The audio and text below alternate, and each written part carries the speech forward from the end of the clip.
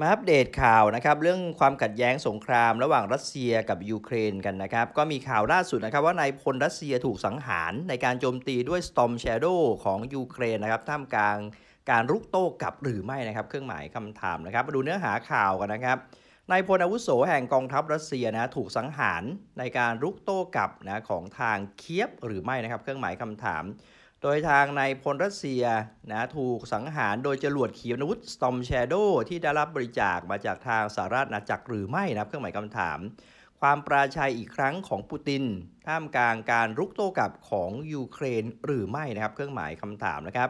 โดยเนื้อหาข่าวบอกว่านายพลอาวุโสแห่งกองทัพรัสเซียนะครับถูกรายงานว่าถูกสังหารในการโจมตีทางจรวดขีปนาวุธนะครับจากทางยูเครน พลตีเซอร์เกย์นะครับกอยาเชฟนะครับเสียชีวิตภายหลังการระเบิด ในเมืองโวโนวาก้านะครับของแคว้นซาบอริเซีย โดยหัวหน้าชุดทำงานของกองทัพที่ 35นะครับของรัสเซียถูกล็อกเป้าหมายนะครับจากราว 25 ไมล์นะครับจากแนวหน้า ดยบล็อกเกอร์ทางการทหารของรัสเซียนะครับได้เสนอว่าเขาอาจจะถูกสังหารโดยจรวดขีปนาวุธนะครับ Storm Shadow ซึ่งจรวดขีปนาวุธนะ Storm Shadow นี้เนี่ยได้รับบริจาคนะครับมาที่เคียบจากทางอังกฤษนะครับแล้วก็มีความสามารถนะครับในการเจาะนะทะลุบังเกอร์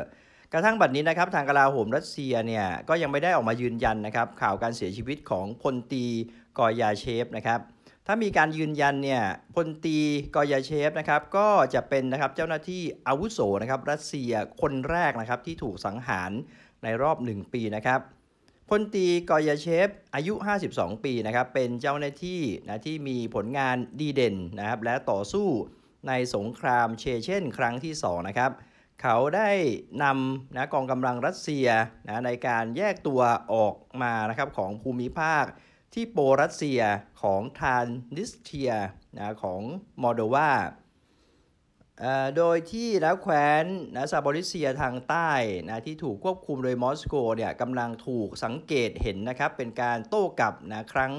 ใหม่ของทางยูเครนบล็อกเกอร์ทางการทหารของรัสเซียนะครับ ก็ได้รายงานความได้เปรียบนะครับ ที่มีนัยยะสำคัญนะจากทางยูเครนในซาปอริเซีย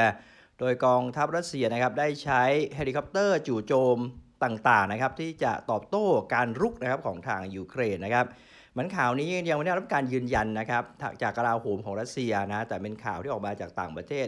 ว่านายพลระดับสูงนะของกองทัพรัสเซียที่อยู่แถวๆซาบอริเซียที่ถูกตีลุกโต้กลับในขณะนี้นะครับโดนนะขีปนาวุธสตอมแชโดนะเสียชีวิตนั่นเองนะครับ เราเจอกันใหม่คลิปหน้า สวัสดีครับ